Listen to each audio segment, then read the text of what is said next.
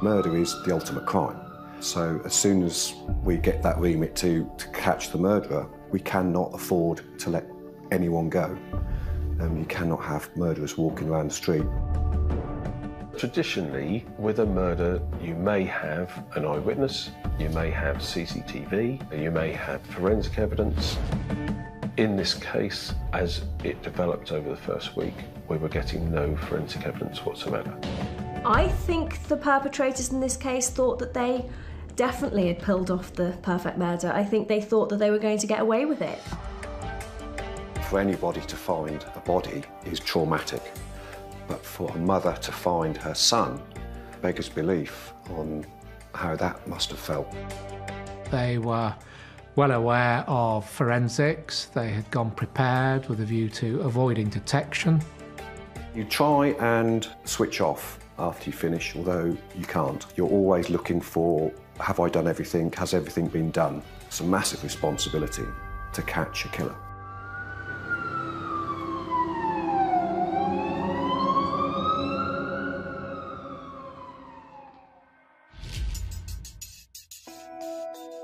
On September the 30th, 2009, the body of a man was discovered in a house in a rural market town.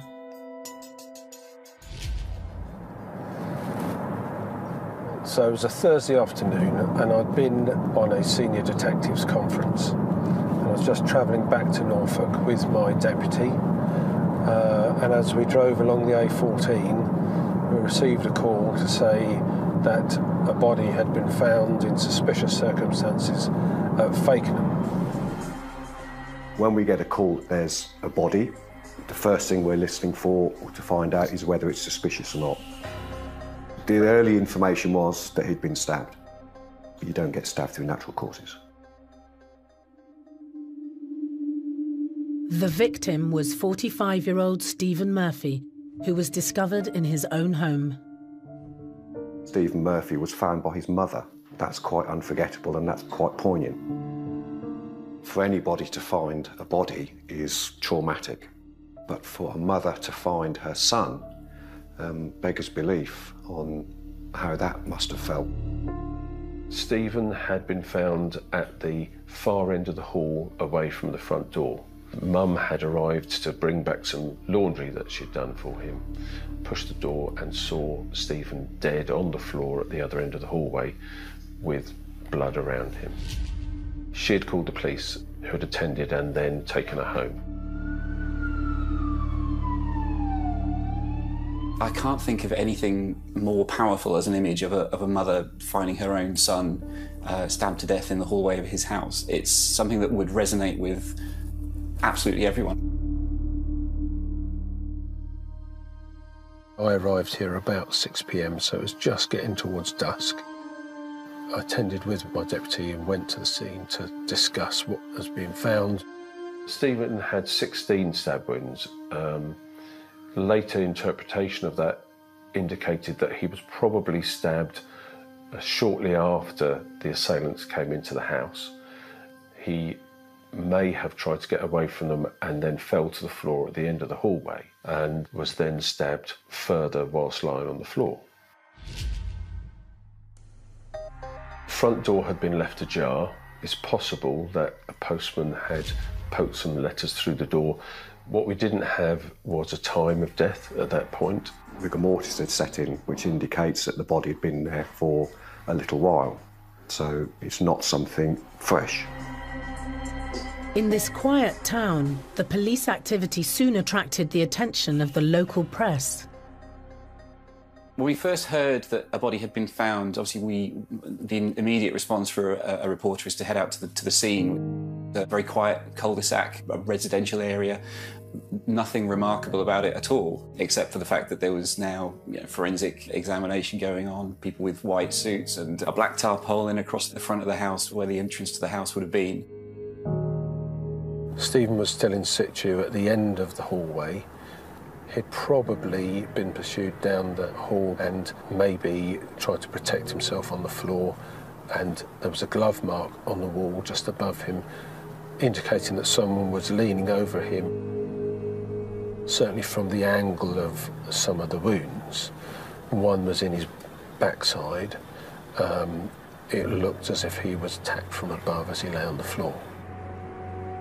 What makes this case interesting is that it's a very violent blitz attack on a man but it doesn't fall into the category of a domestic homicide, and it doesn't seem to fall into the category of kind of a random attack either.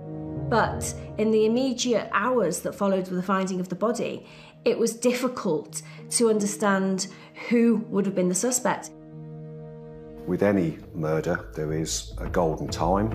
That first 12 hours is critical. So we need to get as much information as possible from anywhere and everywhere um, surrounding that, those circumstances. Stephen had been stabbed, and there is a possibility that his assailant may have discarded the weapon when leaving the scene. We were looking down drains, we were looking under hedges, we were looking in rubbish bins, we were looking in gardens, anywhere where someone could have discarded the weapon. No weapon was found. In this instance, there was very little obvious forensics coming through. So we had to look at other places, and victimology is a key line of inquiry. More often than the case is the murderer has met the victim at some stage or has some connection with the victim. You tend to start with Stephen in the middle and build concentric circles around Stephen and gradually widen the people that you look at. So you look at those closest friends, family, uh, acquaintances and then identifying people that may be of interest to you. Our research into Stephen established that he had moved from Southampton into the area fairly recently. As far as we could establish, he didn't know anyone else in the area at all. It was just mum and stepfather. At the scene, a local police officer gave Jez one vital piece of information about Stephen's personal life. Stephen had been seeing a lady and there had been a problem with another man in the town uh, about uh, that relationship. The other man was a lorry driver from Felixstowe named James Cameron. There had been problem between James Cameron and Stephen. This had previously led to violence, and James had made an allegation against Stephen that uh, he had been attacked and cut with a knife. That was still being investigated at the time, and there had been some criminal damage previously. So clearly, there was a potential person of interest, and we needed to know where James Cameron was. Hoping to find out more about Stephen and this relationship, Jez went to visit his mother at her home. It wasn't a case of breaking the news to mum, which can be very emotional. She was aware and probably in shock following her discovery. We needed to engage with her to get information from her uh, to build a history around Stephen that we could then start breaking into and, and breaking up piece by piece and working on. I always become emotionally involved when I'm with the family. It's very difficult not to be because the emotions that are running round. I don't normally make promises, but uh, I did say to her that I would find out what had happened and get a result for her. I really felt that she needed something to hang on to. She was really very, very upset and clearly very close to Stephen. And um, I just felt the need to reassure her.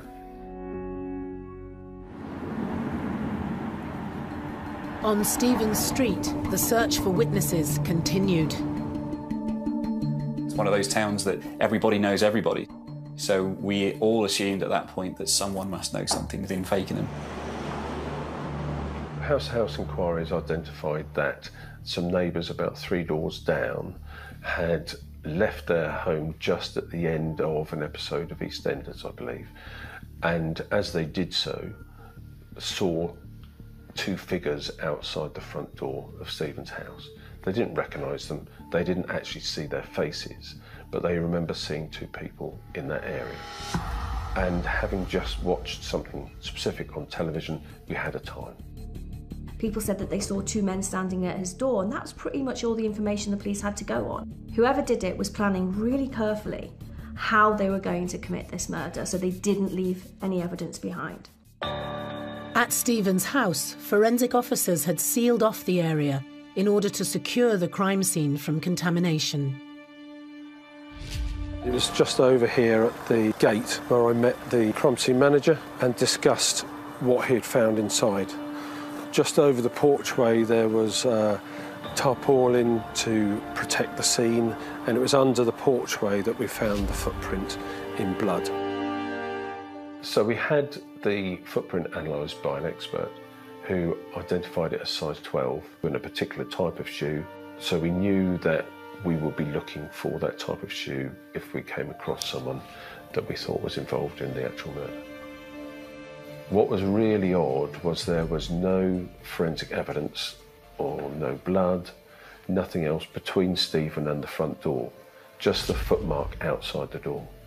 Later in the inquiry, we discussed it as a team, and I actually put a little prize up for anyone who could come up with a theory as to how someone could be involved in that and only leave this blood mark outside the front door and not leave anything in between. I think the police would have been very frustrated immediately when they looked for forensic evidence. So straight away, they haven't got that ability to kind of check for DNA in their DNA database. Also, the fact that there was very little that they could go on in terms of who is this man. So it meant that they had to really start to plan out where are they going to get information from, how are they going to solve this, and that involves good old fashioned policing.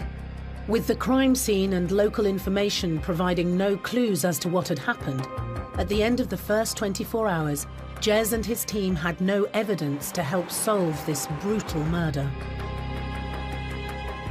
It was an unusual case. I mean, Norfolk is a safe place to live.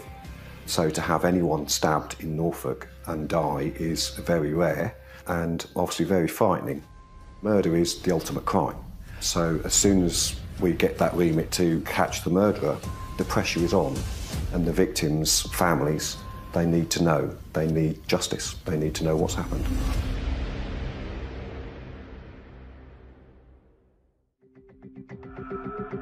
Stephen Murphy had been stabbed 16 times in his home. In the days since his mother had discovered his body, the sleepy Norfolk town of Fakenham had become the centre of a murder inquiry. There is no such thing as an easy or a simple murder inquiry. They're all difficult because the pressure, the, the responsibility is huge. The beginning of the investigation is really resource intensive. With everyone that was involved, we were looking at probably around 70 people. With no forensic evidence and no local leads, the team began to broaden their inquiries. We had identified that Stephen had moved to the area from Southampton and he'd had a bit of a checkered history in Southampton. He spent some time in prison for drug offences, I think, and he'd come up to Norfolk for a fresh start, effectively, to try and start a new life up in, in Norfolk, in Fakenham. It was always possible that having been brought up to Norfolk by his family, he had left either a debt or some sort of grievance with someone in Southampton. So we needed to identify whether there was anyone in Southampton who may have come up to Norfolk to kill Stephen. Their only lead so far had been the man Stephen had had an altercation with, lorry driver James Cameron. It's an obvious line of inquiry, um, an associate or um, someone he's had altercations with.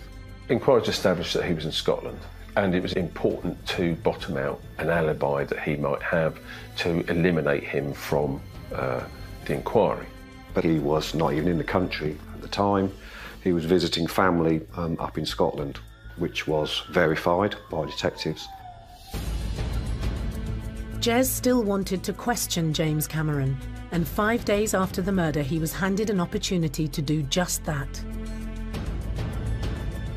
Mr. Cameron, as it happens, was coming back to Fakenham because he had relatives in the town and there was a family celebration that weekend that he was going to attend. So he flew into Norwich Airport and we interviewed Mr. Cameron at quite some length and we asked him to account in great detail for his movements and about the history between himself and Stephen. Although James Cameron was in the clear, the team still wanted to do some more digging into his connections with Stephen Murphy. We didn't have enough to arrest James at that time, but we seized his mobile phone. Because we seized it, we gave him another phone to replace it. We looked at the call data on that. We identified that almost as soon as James left the voluntary interview, he made one call to a telephone number, and that telephone then became dead. There was no further call data on that phone at all. The number James Cameron had called was that of an unidentified pay as you go phone. It was another dead end. When James had finished the interview, he returned to Scotland. That alibi was, was tight. So, although the avenue opened, it was closed down again quite rapidly. At this point, the inquiry refocused on Stephen's movements in the 48 hours leading up to his murder. CCTV is brilliant. It does what it says on the, on the tin. It's, it's there in black and white or in colour. Very rarely in focus, but it's there. So you can't argue with it. Some of the best evidence is CCTV. The problem is finding it. So this is Fakenham Town Centre. We'd seized all the CCTV from the town centre at the time of the murder. We never knew whether it would be any use, when we could use it. Once we've got all that, then the nightmare starts because you can only view it in real time. Otherwise, you'll miss something.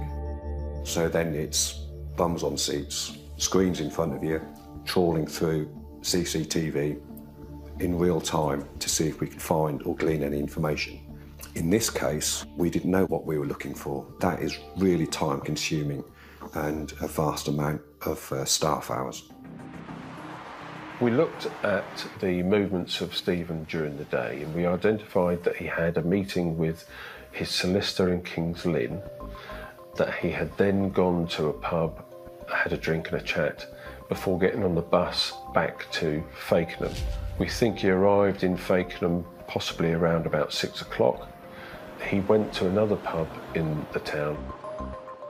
Stephen needed to be home by eight o'clock because he had a curfew from a previous incident. So we knew that he got home around about quarter to eight. Within a couple of weeks of the body being found, the police had released a piece of CCTV showing Stephen in King's Lynn, where he had been the day before he was killed. What the police were hoping for was that it might illuminate some kind of interaction or discussion that he'd had with someone the day before he was killed. But really couldn't find anyone who knew him well enough to be able to tell us any more about him. The intelligence team spent weeks searching CCTV hoping to see Stephen and anyone he may have been with in the 48 hours before his death. But found nothing locally, so continued to look into his links with Southampton. We spent a lot of time looking into Stephen's history, known associates uh, in the area, um, the drug scene. Every avenue we were exploring, we were coming to an end. It was fine, we were getting nowhere. Um, the doors were slamming in our faces on, on every line we, we did in Southampton. With no strong leads, the intelligence team tried a new tactic to try and establish a link between Southampton and Fakenham on the night of the murder. There's a classic route between Southampton and Norfolk, so using Police National Computer and the automatic number plate recognition system, ANPR, we trawled all the vehicles that had travelled from Southampton um, to Norfolk over a short period of time relevant to that murder. We would get all that information, all those vehicles, and there was probably a couple of hundred who at that time travelled from Southampton to Norfolk and from Norfolk to Southampton. So we're then left with a large list of vehicles that need to be looked at why they travelled, why they were here. Over the next six weeks, a small team of officers trawled through this list, linking cars to names and addresses that they could involve in the inquiry. We had contacted the vehicle drivers to establish the purpose of their journey and whether there was any uh, connection between them and Stephen. And it effectively eliminated them from the inquiry. And uh, we had spoken to most of his associates in Southampton and accounted for their whereabouts and the fact that they were still in Southampton. So that part of the inquiry was really drying up. People were talking to us in Southampton. The people on drug scene were talking to us, giving alibis which matched up. That's when it starts to get um, worrying um, because your avenues are closing.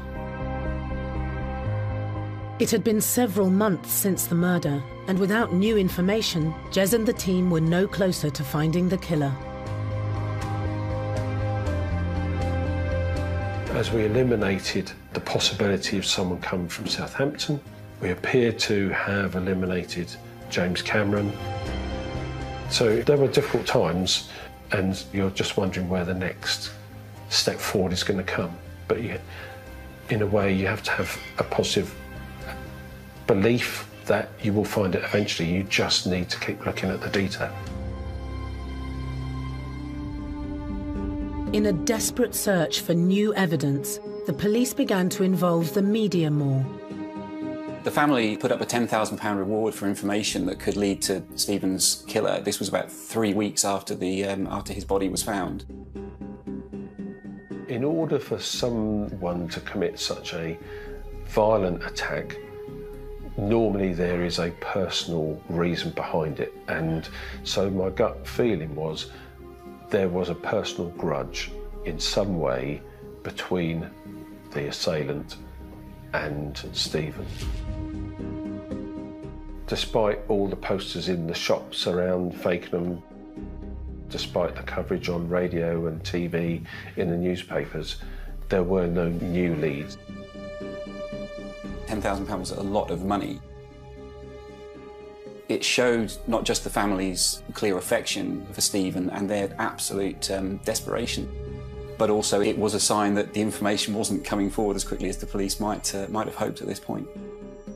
I always do my very best for the family, but I tried to I try not to make promises in case I can't keep them, and certainly three months into this investigation, when our leads seemed to be drying up, I was very conscious of the fact that I'd made that promise and may not be able to fulfil it.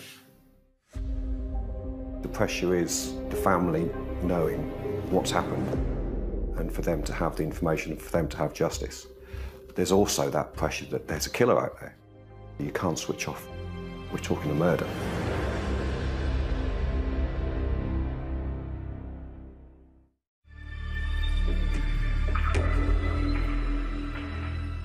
Three months after Stephen Murphy had been found dead by his mother, having been stabbed 16 times, Norfolk police had still made no progress in catching the killer. As we close down things, it becomes quite a challenge to try to A, motivate the team to keep going, the pressure comes on not only from trying to get a result from the family, but then internal pressure within the organisation. I engaged with advisors who came to look and have a presentation on the inquiry and suggest I think you need to look more deeply at James Cameron. Sometimes it's a case of re-looking at things in a different way. One of the altercations between James Cameron and Stephen Murphy involved um, James Cameron sustaining a small cut to his hand um, from Stephen Murphy. That was dealt with by the local police. The altercation was that minor, it didn't even result in a conviction. As James Cameron had cropped up in Stephen's victimology, um, we trawl his information. We look at him, um, his vehicle, his phone, um, his address, his associates, etc. Part of the work that we did on that was to look again at the telephone data that had been recovered from James's phone. Phones are very good because we can track them, we can glean information from them. That took a while to come in. It came in about the same time as the Southampton inquiries were coming to a close. In that information was a deleted text. Although you can delete information off any computer, it's still there. There were four deleted texts, one of which raised our eyebrows quite, quite uh, sharply. On the phone we seized from James was a text on the night of the murder that said, good job, and then some swear words. It was a eureka moment getting that text. Having done a vast amount of work in Southampton and, and elsewhere, and those avenues being closed, and the fresh line of inquiry opening up, that got the pulses racing that you can't keep having these avenues closed. One of them has got to, got to be positive. We were confident that that was the positive line of inquiry that we needed, the one we were looking for. But it's not the phone that killed Stephen Murphy, it's, it's a person that's holding that phone. You have to put that phone in someone's hand. That was a line of inquiry again, was to find out which phone sent that text and then put that phone to someone. Analysis of the data revealed that the text had come from the same number James had called after his interview and that the phone was being used in Blackpool. That text message came from a mobile phone that we then attributed to his son, Andrew Cameron, who was in Blackpool. So by the time we had identified Andrew Cameron and put him to the phone that, following the interview, James Cameron had phoned and then had been discarded, and then identified that there had been regular calls between those phones, especially on the night of Stephen's murder. All these things came together. There was another phone that came into the inquiry which was linked to Alex Dewar, who was a known associate of Andrew Cameron and one of particular interest because of his violent history. Jez and the team now needed to track down Andrew Cameron and his friend Alex Dewar for questioning. We moved to Blackpool to carry out inquiries surrounding Andrew Cameron and Alex Dewar. At the time, Andrew Cameron wasn't there. He'd moved to Canada shortly after the murder of Stephen Murphy. Fortunately, before Andrew Cameron left for Canada, uh, he was bragging that he'd been to Norfolk and um, done someone over. Rules of being a murderer is, is don't brag about it because you'll get caught. It's as good as leaving a fingerprint. It's our dream. It's what we want, positive information. We leapt on that lock, stock and barrel to get that information, which, which obviously we did. Um, but Andrew Cameron himself, um, although he bragged about it, schoolboy era, um, was, wasn't there. It was essential for Andrew Cameron to be tracked down in Canada. He was quite prominent on Facebook, letting people know he was in Canada um, and had befriended um, quite a lot of people, females in particular, in Canada. I contacted most of his associates in Canada and told them that I was looking into Andrew Cameron. Quite rapidly got some responses off at least three of the females. One of the girls he'd spoken to gave quite a detailed description of how Andrew Cameron had shown her how he'd stabbed Stephen Murphy. This was information that we had never released. So we knew that information was genuine.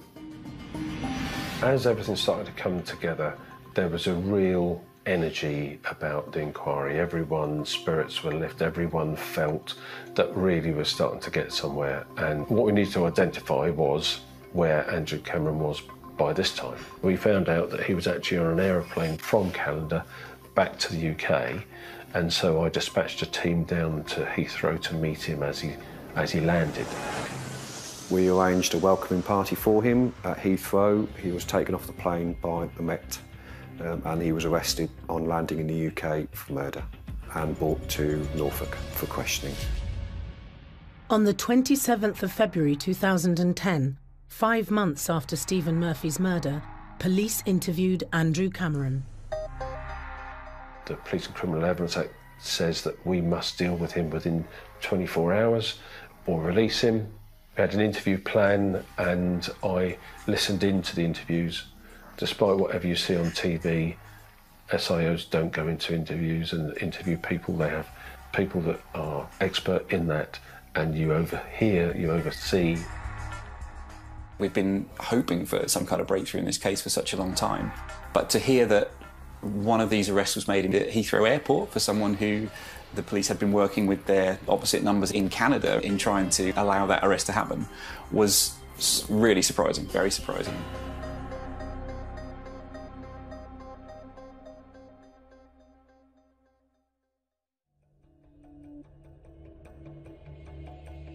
Norfolk police interviewed suspect Andrew Cameron about the murder of Stephen Murphy.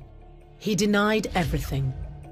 They didn't have enough evidence to charge him, so he was released on bail. When we released Andrew from custody, it was important to focus our endeavours to build upon the evidence that we had. I didn't want to leave him out for too long in case he absconded. I flew over to Canada and spoke to three witnesses over there who were quite happy to give us the information statement form um, with the help of the Canadian police. In obtaining these witness statements, we were already convinced that we had the right people. But what we were able to do was build that picture of what they had done, and it just continued to strengthen the case.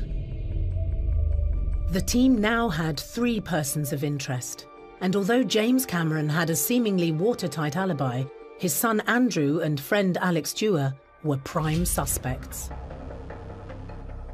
Andy and the Intel team did a lot of work on the telephone numbers that were associated to them and also having identified Dewar, identified the vehicle that Dewar drove. Despite being a very large man, he drove a little Ford car, KA. There's a camera just outside Norfolk. It gives such a good picture that it can show us, as well as the registration number, but the occupants of the front. And so we were able to see that there were two people in this car that travelled from Blackpool to Norfolk. At this stage, phone inquiries were in its infancy, really. It's, it's come a long way.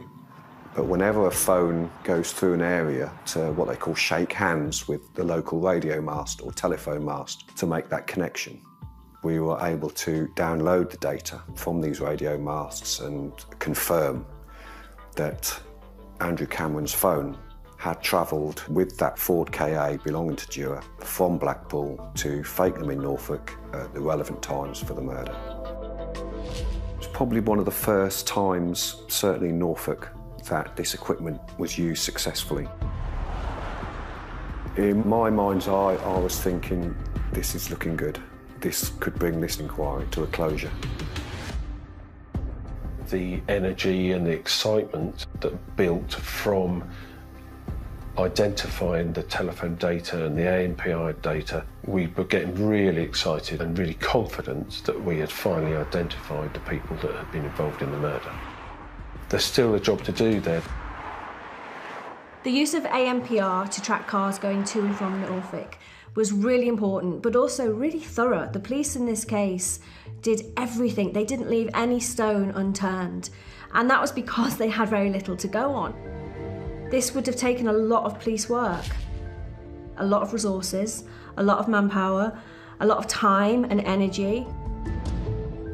Andrew Cameron was still out on bail, so it was essential for Jez and his team to gather more evidence as quickly as possible.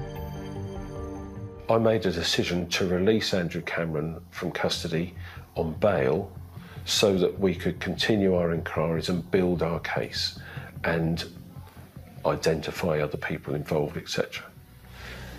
As it happened, Alex Dewar, since the murder of Stephen Murphy, had been involved in a totally separate incident in Blackpool and had been arrested and imprisoned for a very serious uh, grievous bodily harm with intent. And so Alex Dewar was in Preston prison. Alex Dewar was interviewed extensively, and I think he went no comment uh, to all questions.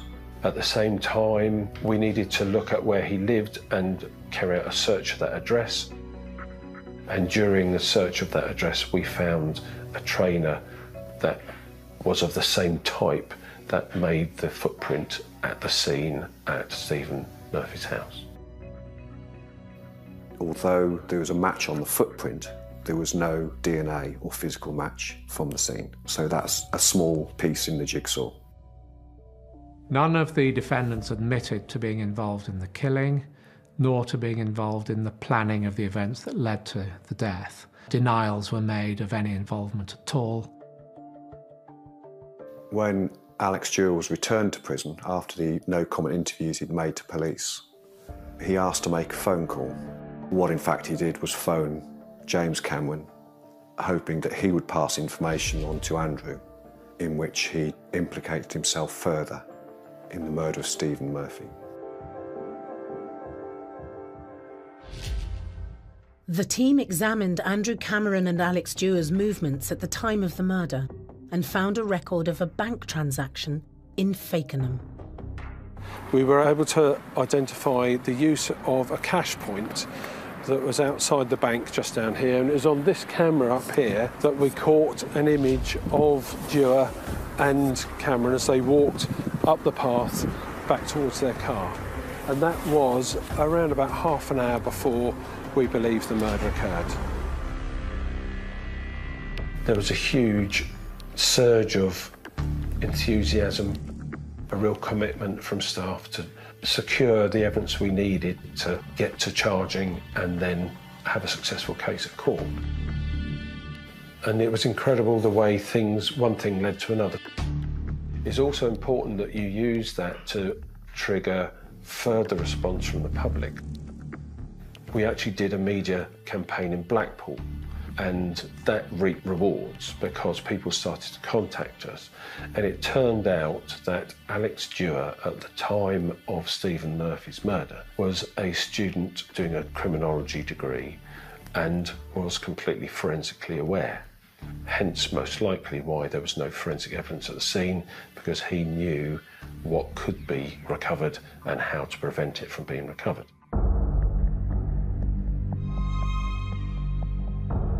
One of the features of the case which made it so difficult for the constabulary was that they were well aware of forensics. They had gone prepared with a view to avoiding detection, and indeed boasted subsequently to those to whom they spoke that they had gone, in their words, sockoed up.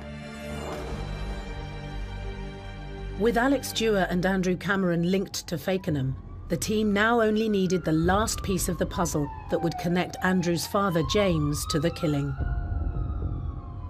We did a search of Andrew Cameron's house. We found a computer and we seized and analysed the computer. We identified that James Cameron in Scotland had made a phone call to Andrew Cameron in Blackpool.